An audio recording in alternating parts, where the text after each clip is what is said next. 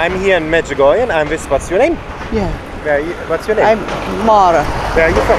I'm from Killarney, County Kerry in Ireland. And first time here or how often have No, you come? four times. First time. Four times, yeah. Why do you come back all the time? Oh, I love it. I love it. It's so peaceful. Yeah? So peaceful. The very first time I came with my daughters, I said, I'd be back here next year, and I did. And I did, yeah. you came And, and I came, this is four times now. What is so special about Medjugorje? What would you Oh, tell people know. who don't I know think- about it? I, t- uh, I think it's it's uh, so relaxing, and you can you can relax and pray. You know, it's very easy here. You pray the rosary? I do, I do. I don't know. I pray the rosary every night. Every Yeah, night you every pray? night I pray the You rosary. pray with yeah. your husband as well? I do You pray. Well, my husband is dead, but I pray for all my sorry. children and grandchildren. Yeah, You pray together with them?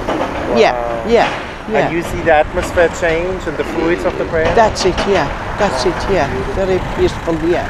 and you always have been Catholic or at one I'm you left? always Catholic, yeah. Always. Yeah, Good always education by the parents. Yeah, that's right. education. That's right. Yeah, And um, you go to confession? I do. I do.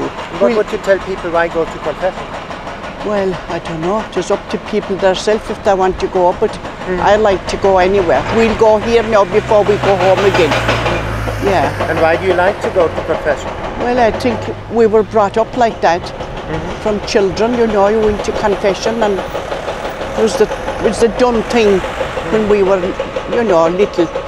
You went to confession and communion every Sunday, and Yeah. you know, Beautiful, yeah, no? Beautiful, you yeah. happy and stable, no? That's right. That's right. Yeah. do you have a that's right. favorite saint?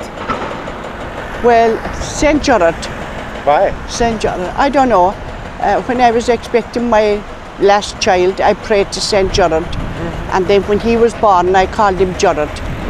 Oh, yeah, good. I did. Wow, Yeah, he's my youngest child. Yeah, Uh-huh. and I called him Gerard. It is lovely. Yeah, And you have a favorite Bible scripture? and I have um, a Martin then Yeah, as well Martin, after Saint. Martin. Yeah, yeah, yeah.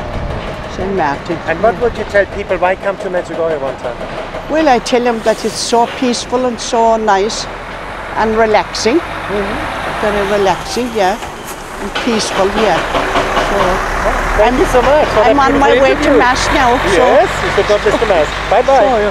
so, so bye bye now.